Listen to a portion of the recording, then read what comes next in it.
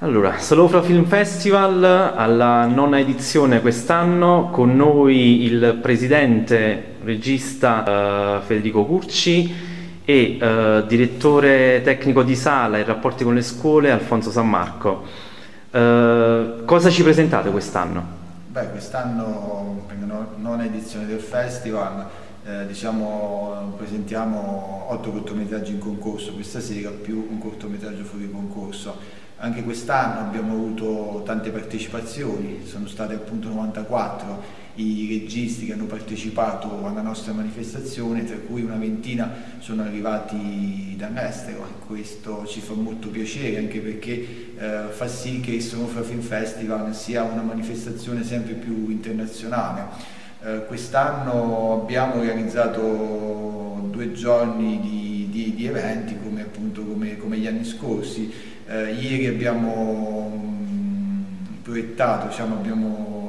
abbiamo, riempito il programma con eh, il cinema e radio, quindi abbiamo mandato un documentario che ho organizzato io, Patriare Radio, e più racconti radio, quindi due racconti, uno realizzato da me, un altro da Gerardo Pepe, un autore che ha presentato due, due libri a Piero Strega e questi, queste opere, diciamo, questi racconti sono stati eh, letti, narrati da uno da Maria Grazia De Stefano e un altro da, da Adriano De Stefano e oggi chiudiamo eh, a due giorni di festival appunto con, con una proiezione di questi cortometraggi in concorso, eh, cortometraggi che sono tutti di, di pregevole fattura, eh,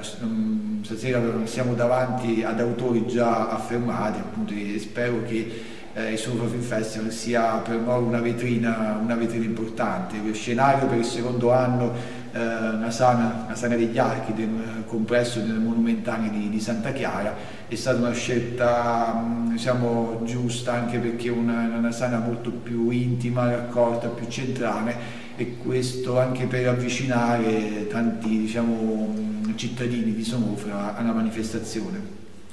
Uh, Alfonso, uh, qual è stata la risposta delle nuove generazioni? risposta, almeno per gli anni scorsi, è stata rosea, perché comunque la platea è gran parte giovane, se consideriamo giovane una fascia di età che va fino intorno ai 30 anni.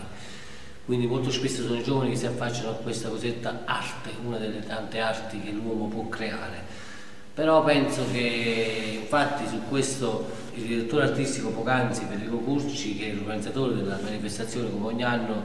ha tenuto a sottolineare l'aspetto internazionale. Io ci tengo a sottolineare anche l'aspetto sociale, perché oltre per le scuole che noi quest'anno abbiamo poco coinvolto, perché gli anni scorsi avevamo più diciamo, avuto tempo di fare progettini vari, con proiezioni anche le scuole che l'anno prossimo sicuramente si, si rifaranno,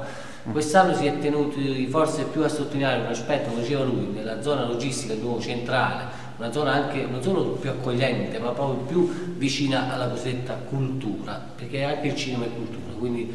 questo bisogna anche sottolinearlo, seppur cortometraggi, ma comunque sono, sono una, un motivo in più per riflettere sul mondo che ci circonda. Ok, io vi ringrazio, per Solo Fra Oggi TV è tutto, uh, arrivederci. Grazie a te.